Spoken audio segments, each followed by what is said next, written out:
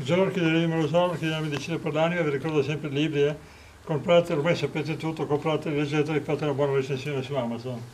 Allora, oggi pomeriggio c'è il corso in internet Orchidea Medicina per l'anima sulle orchidee, che lo tengo io. Una volta facevamo tutti questi corsi, facevamo tre volte all'anno, uno in primavera a marzo, uno a giugno, uno a ottobre, facciamo cioè, tre, tre corsi l'anno, primavera, estate e autunno e avevano sempre un buon successo. Difatti questo che ho fatto insieme a OCI, Associazione Orchidopoli Centro Italia, che è un'associazione veramente molto dinamica, quello di oggi è già esaurito perché ha raggiunto i 150 iscritti. Allora ne faremo un altro sabato prossimo, sabato 12, sempre alle 3 del pomeriggio, il corso durerà grosso modo 3 ore e lì parleremo un po' di tutto il mondo delle orchidee. E, va bene, iscrivetevi eh, su, sotto il, eh, nella descrizione del video metterò il link del, per iscrivervi e lo trovate anche sul mio eh, gruppo Facebook Orchidea Medicina per l'Anima oppure sul mio profilo Giancarlo Pozzi oppure lo trovate su OCI Associazione Orchidopoli Centro Italia. Ok, allora oggi parliamo come si bagna le orchidee.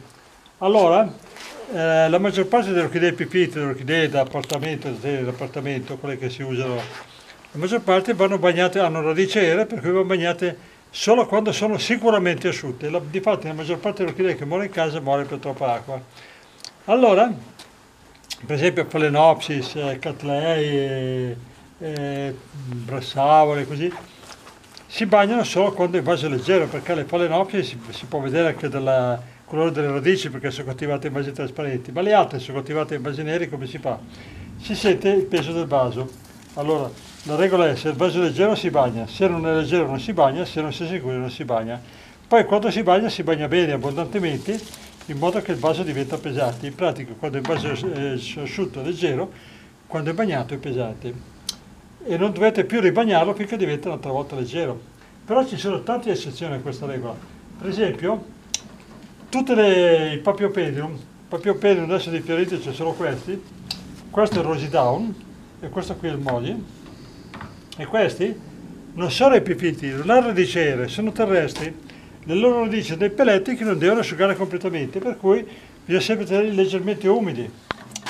Poi, non so, i Fragmipedium, che adesso non ne ho di fioriti, che sono della famiglia dei Papiopedium, però sono nativi della, dell'America, da, dell'America, vivono lungo i torrenti, lungo le cascate, così, in zone molto umide, e quelli lì addirittura della primavera all'autunno si può coltivare col sottovaso pieno d'acqua. In inverno si toglie il sottovaso ma si bagna comunque tantissimo perché quelli assolutamente non devono asciugare. Per esempio che Faius, i Faius generalmente vivono in zone paludose e non devono mai asciugare. Le, quelle che chiamo comunemente Cambria, le Colmanara, Beallara, Wilsonara, così, è meglio che non asciugano proprio completamente prima della bagnatura dell'altra. Poi tutte le plerotalidine, le pleurotalidine adesso di fiorite c'ho queste qui che sono le restepie. Questa è la restepia tennifera, guardate che bella che è. È veramente magnifica. Questa è la restepia sanguigna. Queste vengono, le pleurotalidine, sono un, mondo le pleurotalidine, sono, eh, si pensa che ce ne siano ancora 5.000 da scoprire di pleurotalidine, soprattutto dei miniature, di quelle piccole piccole.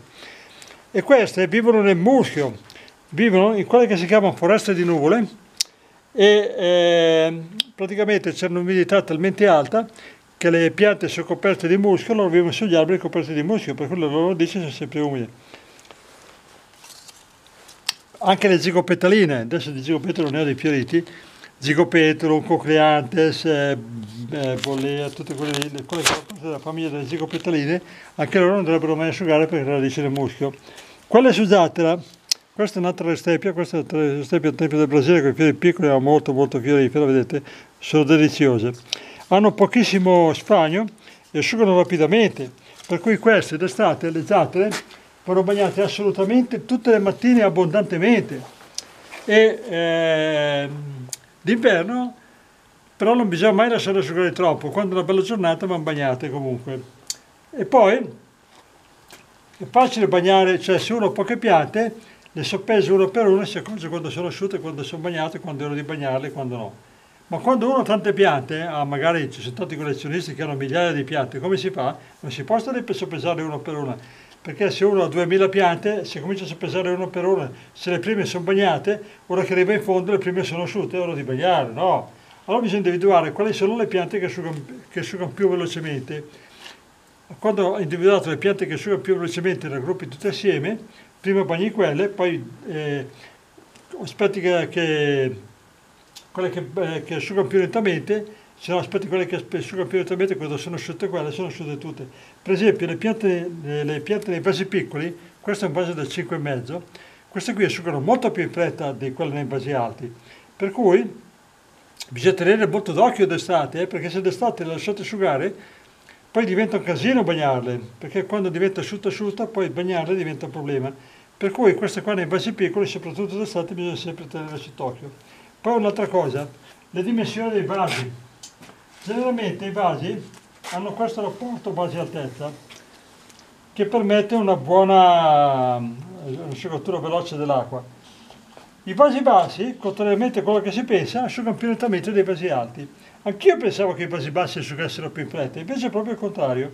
Allora guardate, questa è una prova che si fa nelle scuole di floricoltura con due spugne perfettamente identiche. Bene bevute d'acqua tutte e due. Ora ne tiriamo fuori, ne mettiamo una in orizzontale e una in verticale e guardate cosa succede. Eh? Vedete, quella in verticale sgocciola, quella in orizzontale no. Aspettiamo un attimo che finisce di sgocciolare quella verticale e poi vi rendete conto da soli perché quelle nei vasi bassi asciugano più lentamente di quelle nei vasi alti. Ci vuole un attimo che smette di, di asciugare, eh? di, di sgocciolare.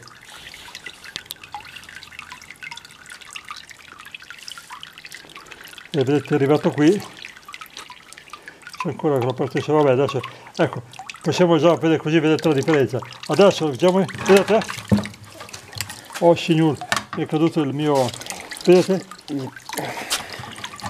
è la, la pressione che la fa vedete?